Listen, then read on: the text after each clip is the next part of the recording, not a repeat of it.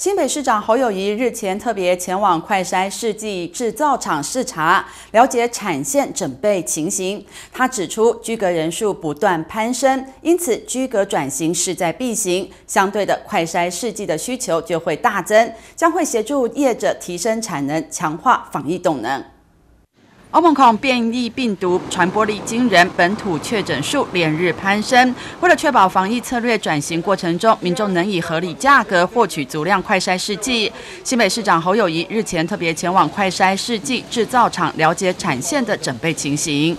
那里六台总共到时候会有十八台，那十八台，那你现阶段几台？现阶段六台，现阶段进场有六台。那五月份。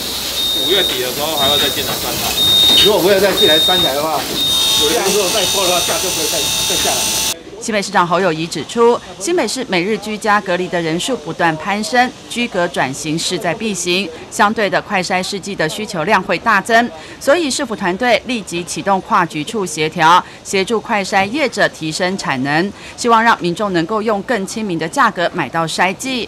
同时感谢厂商和市府并肩作战，全力以赴对抗疫情。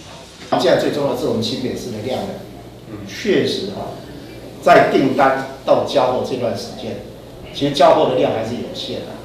我这样怎么 total 哦？在你这里订了四十万，四十五万嘛。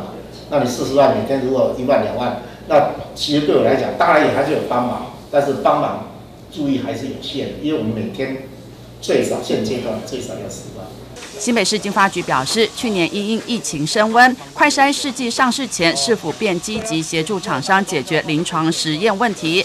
现在也将用最快速的速度核定工厂变更登记，让厂商可以逐步扩展生产线，期盼交货量能能够紧速赶上订单量，满足大众对于快筛试剂的需求，强化防疫动能。记者杨邦友、赵芳启新北市采访报道。